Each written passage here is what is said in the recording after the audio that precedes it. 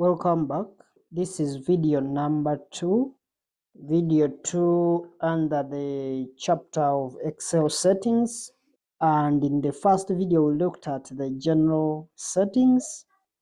So now here we are going to, sorry, we looked at the, the Excel settings overview. So now we are going to focus on the general settings that we need to set into our Excel file. So let's dive in and start taking a look at some of the Excel options and what and we want to try to do it using the keyboard, specifically the keyboard without using the mouse. So that's basically what we are going to focus on. So since we are going to be using the mouse, sorry, the keyboard, let's now tap the Alt key. When we tap the Alt key, let's now tap the Alt key and the Alt key is going to help us. The Alt key is going to help us. The, this Alt key is going to help us bring those new letters.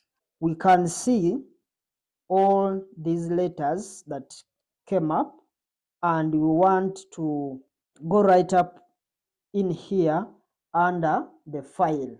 We want to look at the file section of the ribbon. Under the file, so under the file, we are going to tap F and that F is going to take us to to this section and we can see all the way down to down at the bottom we have options down here with T mark. When you go down to options, when you go down to options here, let's go back a little bit. We said we press Alt and then we go to F for file. Then we have where we have more. It says double zero. So press those double zeros to take us to more options. From here, we can go to options. So now it has taken us to options. From the options, we can now see we can now see down on the left hand side of this dialog box. You can see the different categories for Excel options. And we are going we are going to be going through each category in this chapter.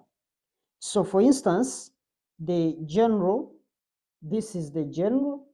We are seeing this on the left. We have general, we have formulas, down to formulas. When you use the arrow keys, it takes you to, the down arrow takes you to formulas. We are seeing also there is proofing, there is save. There are so many things that we can actually see from that point. So we are going to go through all of them and we are going to start right at the top with the general. So we go back to the general.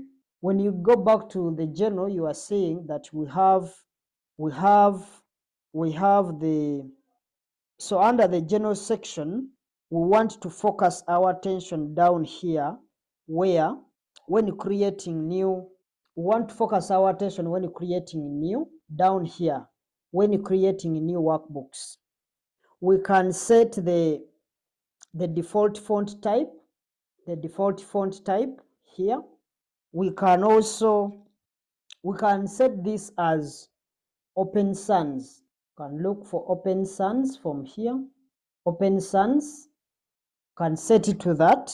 We can also set the font size. We can set the we can set the font size maybe to 12 can just put 12 on this one you just select whichever you feel like. But the font size let me select 12 so feel free to set these two settings to whatever you wish but let it not be too big.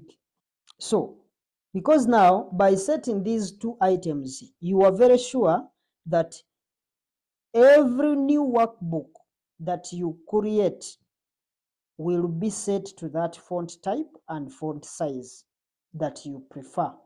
because me have, me have opened it with a font size of 12 with the default font, font, font type of Open Sans. Others can select Calibri depending on whichever whichever you want to to to to show that with, with within within your Excel file. So next up we have down here the number of sheets which will appear in every new file by default. So down here we are seeing we have by default we have one. By default we have one. So and we would highly recommend that we we set this here to one. If it was three, we we recommend that you set it to to one. And in fact, in recent versions of Excel, the default setting is one, just like the way you are seeing. Uh, we found when it is one, but on older versions, it was set to three.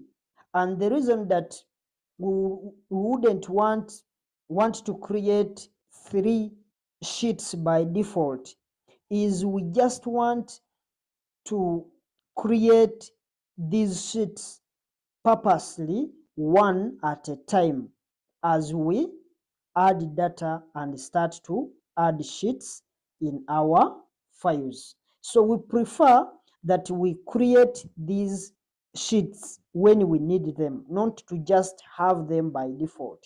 That's why we prefer to leave that one at one. Now we also we are also going to recommend that you take a look here at the username. This username, and as you can see, my name has been placed there. And it is important to make sure that the username is correct and that you either put your your name in there or your company's name because every comment that you write in these files is going is going to have that name appear in the comment in the comments. And finally the last setting in the general section that we are going to discuss down here the office theme. This office theme that you are seeing down here that office theme that you are seeing up here. And this is really just a personal preference. Don't say we it's professional supposed to be like that. It is just a personal preference now by default this is set to most of the times it is set to colorful. But you've seen me have found when it is use system setting. But others you may find when they are when they are set to colorful by default. And if you find that it has been set to colorful by default it means that that option down there is going to give you a green look to your excel interface. So but as you can see we can now maybe change ours to systems to using system we can change it to white we can use we can set to darker gray we can set it to anything anything that we we feel like.